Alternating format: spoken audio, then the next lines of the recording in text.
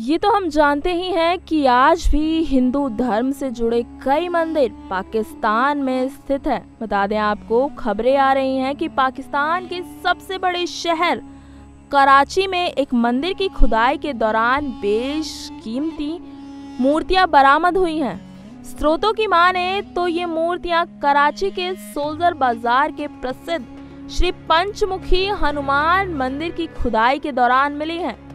इन मूर्तियों को बहुत ही बेशकीमती बताया जा रहा है। ये मूर्तियाँ पीले पत्थर से बनाई गई हैं और इन पर सिंदूर के निशान देखे जा सकते हैं।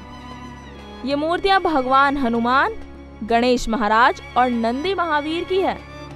सोलजर बाज़ार की तंग और घनी आबादी वाली गलियों में स्थित इस मंदिर की साज सज्जा और मरम्मत के लिए खुदाई का काम चल रहा था।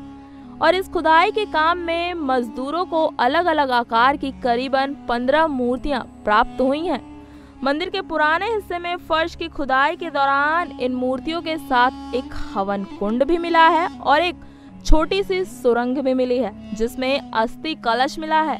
माना जा रहा है कि ये अस्थि कलश किसी साधु संत का है, क्योंकि इस कलश के पास व्यक्ति के कुछ निजी सामान भी मिले हैं।